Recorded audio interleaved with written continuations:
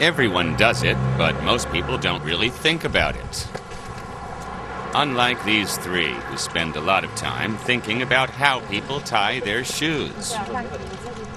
Brain researchers from the Max Planck Institute for Cognition and Neurosciences are studying why people are able to perform certain complex tasks without making errors. Ricarda Schubotz has taken a close look at this everyday occurrence. Her videos show that even though everyone ties their shoes in an individual way, the overall cognitive mechanism seems to be the same. A complex task has to be broken down into a series of smaller goals. Cross the strings, make the loop, tie the bow. Das werden Sie sehen sozusagen You see it with everybody. If you say tie your shoes and watch what happens, ähm, you see that although the path taken is always a different one, each person completes the process as a sequence of ähm, interim wird bei jeder goals. Ähm, erreicht. At the center of her research is a very special part of the brain, the frontal lobe. This area of the forebrain controls many of the traits we think of as being specifically human. For example, the ability to pursue a complex goal in a logical, step by step fashion.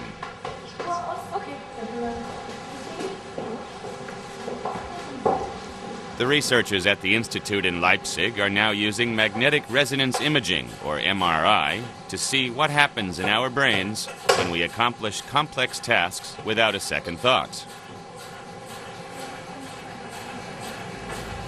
Inside the MRI apparatus, test subjects view a series of simple images.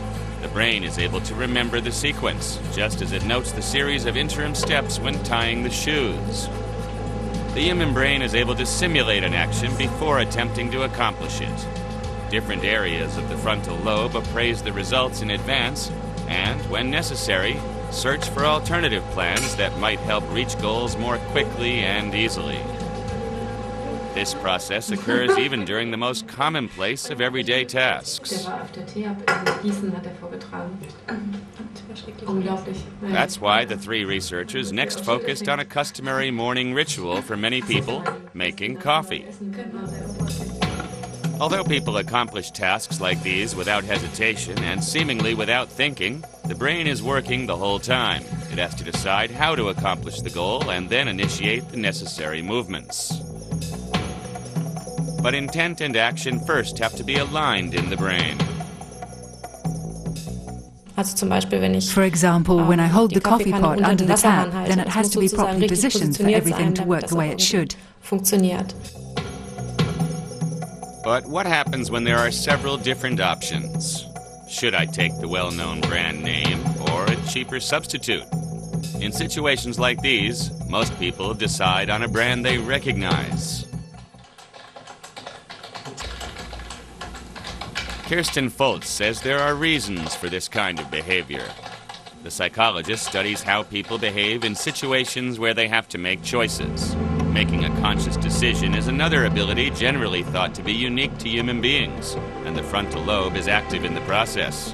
When a choice has to be made, the brain will fall back on something it recognizes. Immer wenn ich zwei Objekte Whenever I have two objects but only kenne davon nur recognize one of them, I opt dann for the entscheide one ich I mich für already das, das know ich schon because I kenne, weil ich assume the annehme, dass recognized dieses object Objekt is more den höheren valuable. Wert besitzt für mich. The brain constantly monitors actions and will sound the alarm if you miss one of the steps in a complex task. But when you have concentration problems, So, dann sind wir or if you're distracted, es kann losgehen. mistakes can creep into even nacheinander auf dem everyday tasks. Äh, Pfeile dargestellt und es geht immer nur um den mittleren Pfeil. Und äh, Marcus Richtung, wie der Pfeil Ullsperger is trying to find äh, out how the brain discovers and corrects errors. genau wie möglich drücken. Ja. Error recognition and Mhm. correction is another aspect of our thought processes that most people consider a uniquely human characteristic. Time pressure can contribute to a higher rate of error in otherwise straightforward tasks. This test subject is supposed to identify the correct arrow at a specific moment. Most of the time, he notices right away if he's made a mistake. Ullsperger was able to identify an interesting curve when analyzing subjects' brain waves, the signal the brain makes when it recognizes an error. Insgesamt können wir sagen, dass dieses Overall, we can say that this error signal that is activated ähm, prepares the entire body and the brain to äh, change its actions. das Gehirn darauf vorbereitet, eine Handlungsänderung vorzunehmen. The coffee is ready, and the human brain has once again perfectly orchestrated the completion of a complex task. We're just beginning to understand how, and perhaps why, there can be a world of difference between what we want and what we do.